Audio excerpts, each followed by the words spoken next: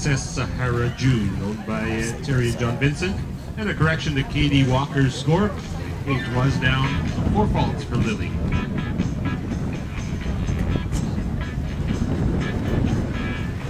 Come on, Har, don't feel Winnie.